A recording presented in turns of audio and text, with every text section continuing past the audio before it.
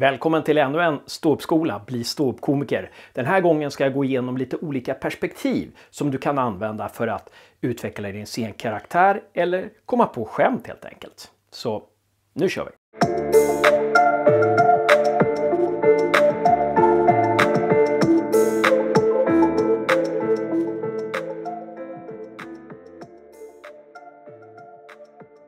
Den här gången ska jag ge dig ett smörgåsbord av olika perspektiv som säkert kan få igång din kreativitet. Ett sätt att tänka är att tänka som egoisten, det vill säga den som bara tänker på sig själv. Det kan bli ganska roliga skämt. Till exempel, vi har ju Karin Adelsköls variant Jag har en man och två barn. Jag önskar att det var tvärtom. Varför blir det roligt? Jo, för att det är så oväntat.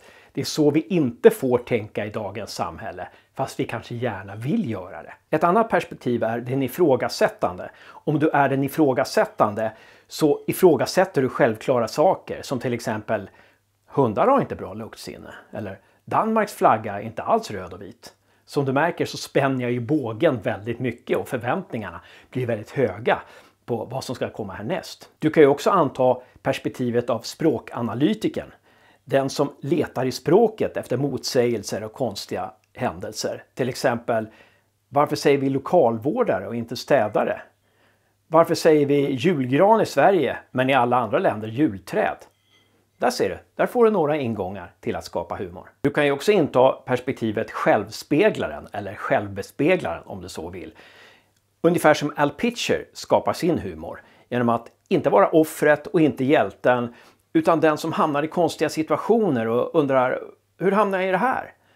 Varför gör jag så här? Varför gör de så här mot mig? Du kan också göra som George Carlin, att du höjer perspektivet lite och ser världen uppifrån. Titta på de stora frågorna.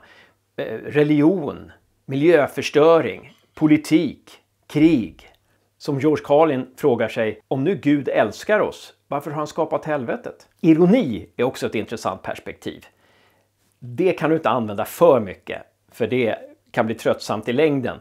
Men det är ett väldigt effektivt vapen att använda i publiksnack till exempel. Om någon har beställt väldigt många öl, det står 18 flaskor vid en person.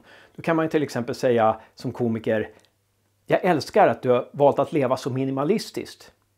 Varför är det ironi? Jo, för det jobbar med motsatser.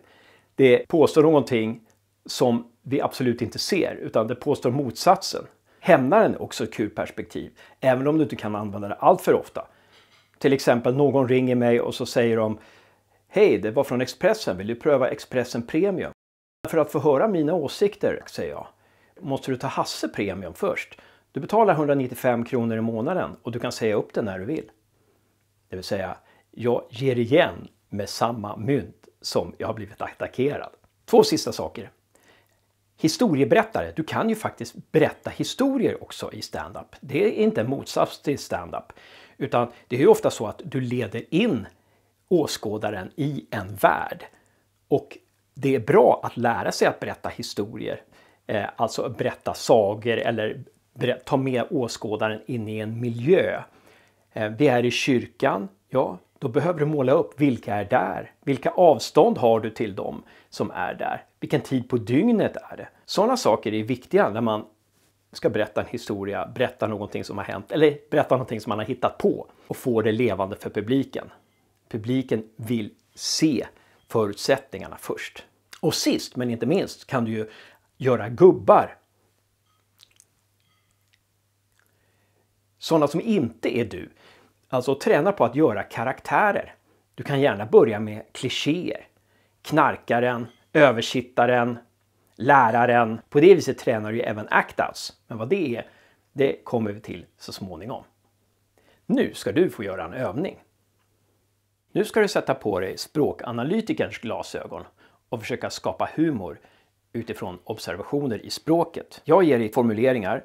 Se om du kan hitta något roligt i dem eller ställa en fråga till någon av dem. 1. Bryta ihop. 2. De ska ha barn. 3. Sätta pengar på en häst. 4. Bättre en fågel i handen än tio i skogen.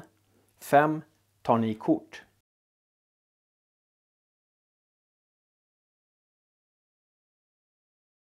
Och som vanligt ska jag sluta med ett av mina egna skämt. Jag betalade precis 1500 för att prata med en psykolog. Jag måste vara galen.